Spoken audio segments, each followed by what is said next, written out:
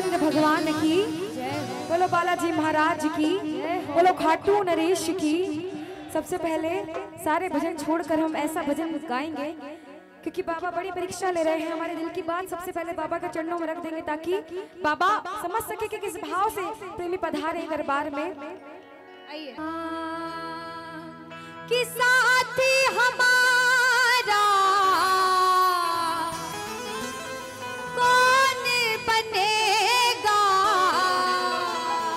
कि बाबा साथी हमारा कौन बनेगा? और आज तुम्हें ना सुनोगे तो कौन पूछो पूछो। तुम्हें ना सुनोगे तो कौन सुने के साथी हमारा कौन बनेगा? तुम ना सुनोगे तो कौन सुनेगा? सुनेगा? जिसे जिसे विश्वास है कि मेरे दुख के समय कोई आए ना आए खाटू वाला ज़रूर आएगा। वो उठा लेना दोनों दोनों हाथ दिखा देना अपनी लकीरें लगा लेना मिलकर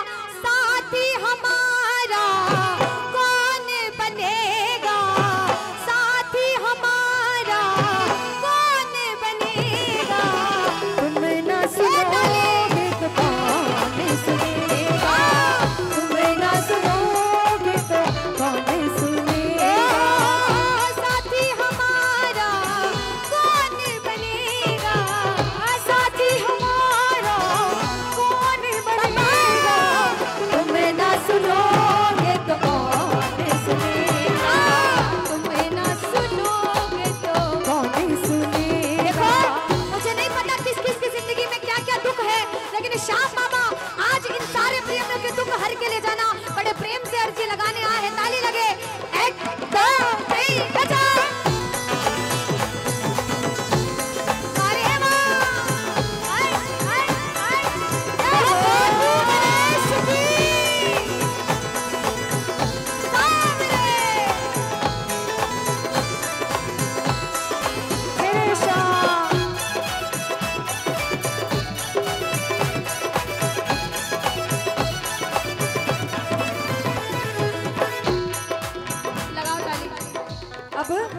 बाबा से मिलने आए हैं। वो एक बार बाहें फैला लो बाबा के सामने। और बाबा से कह दो, बाबा, आ गया दर पे तेरे, सुनाई हो जाए। आ गया। ज़िंदगी से दुखों की। बोलो, ज़िंदगी से दुखों की। कलयुग में भगवान को रिझाने का सबसे आसान तरीका भजन है। और भजनों का मतलब होता है भजना पड़ता है। माला करते ना घर में, भजन को भजना पड़ता है, भगवान को रिझाना पड़ता है। दिल की बात सुनानी पड़ती है, मिलकर कहो, आ गया दर पे तेरे, सुनाई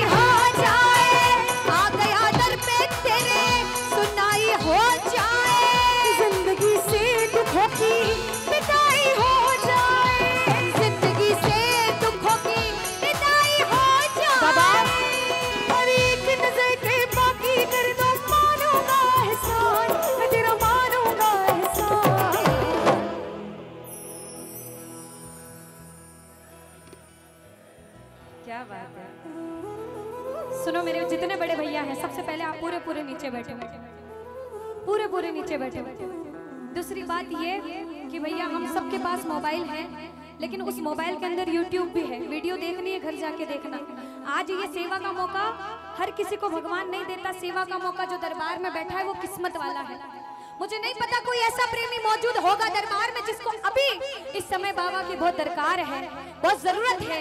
एक ही भाव से कहना, बाबा, संकट हमारा कैसे कटेगा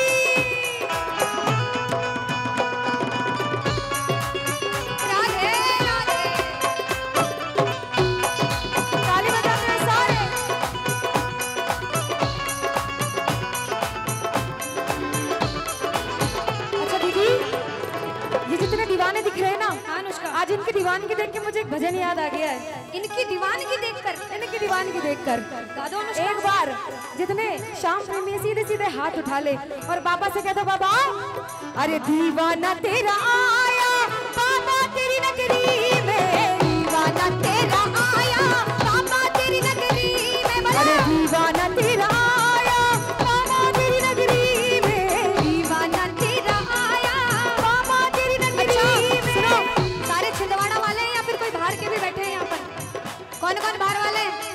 क्या हैं ये अनुष्का पता है क्यों आए हैं? क्योंकि जब जब इनको पता चलता है कि बाबा का कीर्तन है बाबा रस्सी फेंकते हैं इनको खींच के बुला लेते हैं और बोलते हैं यही बैठ और तुझे भजन सुनाना। पड़ेगा पड़ेगा। क्योंकि वो खाटू वाला भजन सुनाना चाहता है। लेकिन जब तक दीवानगी नहीं आती तब तक भजन कैसे सुनाते? जो जो दीवाने